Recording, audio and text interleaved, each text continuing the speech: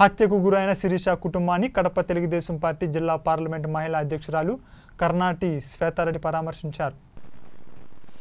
కడప జిల్లా బద్వేలు మండలంలోని చింతల చెరువు గ్రామానికి చెందిన గొడుగునూరు శిరీష అనే యువతిని గత రెండు రోజుల క్రితం చరణ్ అనే వ్యక్తి కత్తితో దాడి చేసి హతమార్చిన విషయం తెలిసిందే. ఈ నేపథ్యంలో కడప తెలుగుదేశం పార్టీ జిల్లా పార్లమెంటు మహిళా అధ్యక్షురాలు కర్నాటి శ్వేతారెడ్డి కాశీనాయన మండలానికి చెందిన తెలుగుదేశం పార్టీ నాయకులు కర్నాటి వెంకటరెడ్డిలు మురి చెందిన శిరీష కుటుంబాన్ని పరామర్శించి కుటుంబ సభ్యులను ఓదార్చారు. ఈ సందర్భంగా కడప తెలుగుదేశం పార్టీ జిల్లా పార్లమెంటు మహిళా అధ్యక్షురాలు కర్నాటి శ్వేతారెడ్డి మాట్లాడుతూ శిరీష అనే యువతి యువతిని దాడి చేసి హత్య చేయడం చాలా దారుణమైన విషయమని ఆవేదన వ్యక్తం చేశారు అదేవిధంగా రాష్ట్రంలో మహిళలపై దాడులు సైతం హత్యలు ఎక్కువయ్యాయని ఆమె ఆరోపించారు అదేవిధంగా మహిళలపై ఇలాంటి సంఘటనలు జరగకుండా పోలీసులు చట్టపరమైన చర్యలు తీసుకోవాలని ఆమె అన్నారు అదేవిధంగా తమ కుటుంబానికి తెలుగుదేశం పార్టీ ఎప్పటికీ అండగా ఉంటుందని ఆమె అన్నారు